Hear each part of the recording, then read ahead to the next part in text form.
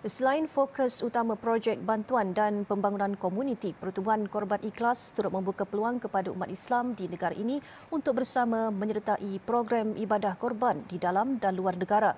Duta Korban Ikhlas, Datuk Muhammad Kazim Ilyas berkata, bagi tahun ini pihaknya menyasarkan 300 ekor lembu untuk dikorbankan dan akan diagihkan kepada 25,000 penerima daripada golongan asnaf. Mengulas lanjut, Datuk Muhammad Kazim berkata pihaknya menumpukan ibadah korban di beberapa lokasi terpilih dalam negara termasuk pendapatan orang asli di Perak dan pedalaman Sabah dan Sarawak. Manakala di luar negara, korban ikhlas menyasarkan wilayah Mindanao di Filipina, Patani di Thailand, Kemboja dan Aceh di Indonesia. Kita tak, tak abaikan dalam uh, semenanjung Malaysia termasuk juga di Sabah dan Sarawak walaupun kita mengadakan uh, sasaran korban kita di beberapa tempat di Asia Tenggara. Uh, di misalnya di semenanjung Malaysia kita tumpukan kepada uh, asnaf dan juga mualaf dan saudara-saudara kita di perkampungan orang asli. Kemudian di Sabah dan di Sarawak juga kita buat di kawasan pedalaman di sana yang kita rasa sukar untuk kita nak sampai di sana tapi kami di Korban Ikhlas akan usaha buat di sana. Untuk di Asia Tenggara kita uh, buat di empat tempat tetapi di Filipina dah penuh dah.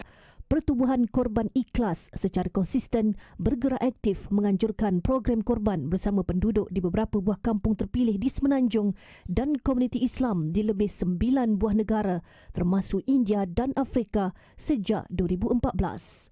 Sepanjang sembilan tahun program dijalankan, Korban Ikhlas telah mengendalikan kira-kira 4,000 ekor haiwan melibatkan hampir 300,000 golongan sasar dalam dan luar negara. Bagi memastikan amanah ini dilakukan dengan telus, setiap peserta korban akan diberikan gambar bahagian korban sembelihan masing-masing selain sijil digital penyertaan dan notifikasi status korban terus ke SMS dan WhatsApp peserta. Korban Ikhlas menawarkan pilihan untuk korban di dalam dan luar negara mengikut kemampuan setiap individu dan masih sedia menerima tempahan korban di saat akhir.